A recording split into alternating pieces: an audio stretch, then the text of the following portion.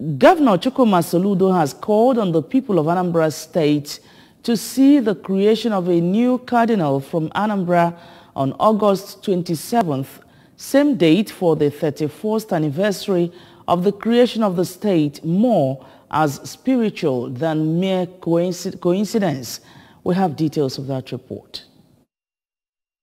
Speaking in an interview at St. Peter's Square, Vatican City, Rome, where he led the Anambra contingent to witness the event, Governor Soludo said the making of Cardinal Okpaleke on the same day Anambra was marking her 31st anniversary was a thing to thank God for, just as its spiritual significance cannot be ignored. He called on the Anambra across the globe to see this as a defining moment for the state and key in to raise the bar of elevation of the state even higher. The governor remarked with delight that Cardinal Okpaleke was just the only Nigerian among the list of 20 new cardinals created and also one of the two representing the whole of African continent. He enjoined all citizens to join hands in lifting the state to attain all-round growth, including the spiritual.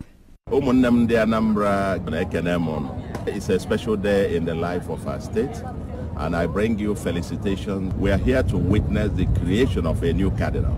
Our own brother our own son bishop ebere peter uh, Okpaleke that a new cardinal from anambra state is being created. It's not a mere coincidence. There must be something spiritual about it. Those of us from anambra come to celebrate with him welcome him as he received the red hat. Also to lift our state up high unto the Lord for his bountiful blessings, not only upon the uh, cardinal, the new cardinal, upon the people of Anambra,